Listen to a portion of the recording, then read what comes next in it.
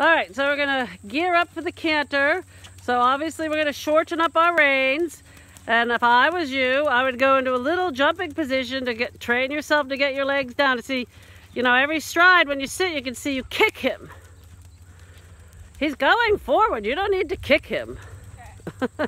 so we got to quiet that leg down. Good. This is a nice frame.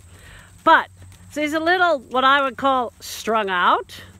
For cantering, right? For trotting, that's beautiful. But for cantering, we want him a little bit more connected. So I would shorten the left rein. That doesn't mean shorten his neck. And he's right now he's going quick. Oh, she's, she's going quick to canter. And then you're going to see you're falling behind the action there. The horse should canter out of a balanced trot. So let's slow him down.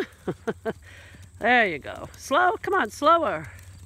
He doesn't need to rush into the canter. And you need to still shorten your inside rein because he needs to be bending more left. Slow him down. You know, it's almost like you want to think, sit back, collect, spring into a canter, right? right? He's not to rush into the canter. So, this is your trot for cantering. So whenever you're ready, you sit. You don't lean back. You sit. Good, canter. Good. Okay, and we're sitting straight. Elbows forward and back, Miss Susan. Bending them left. Bending them left. Easy, good. That's okay. Good, very nice. That's fine. I would stretch him down and out now. Slow your trot down. He's running. Stretch him down and out. While he's stretching, think about those legs. Press that knee back. Come on, let him go down. He's like, damn, she's on top of me, making me work. so now you're gonna bring them back together again, keeping the rhythm, but not quick. Gonna shorten your inside right. Now that was a good canter depart. And he didn't run into it either. No more running into the canter. This is your trot. You're gonna bend them left. You're gonna, you sit, swing into the canter. You do not lean back. Good? Not good. So you half halt the trot, bring them back, bend them left, rhythm, rhythm, rhythm. Bend them left. Good. Sit, swing into the canter.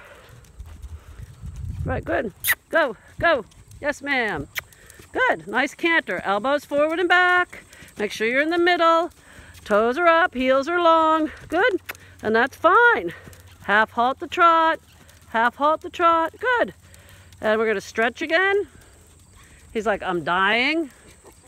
I like to stretch because it sort of erases the hollowness that came when the cantering, when you cantered, okay? So you're going to gather them up, put them back together. See the leg going out in front of you? The leg needs to go back. Good. And one more time. Usually do it in sets of three. You need to shorten the rein, inside rein. When you sit, swing into the canter. Do not lean back. Right. Good. Good. Good. Kick, kick. Good, good, good. Right, so you see his neck gets short and gets hollow. Right, he needs you. Right, first we got to keep him cantering before we can really change any of that, right? But he needs to stretch down more at the canter.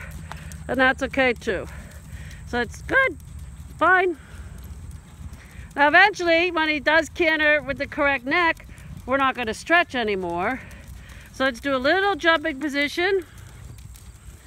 Get those leg, leg, and you can just walk.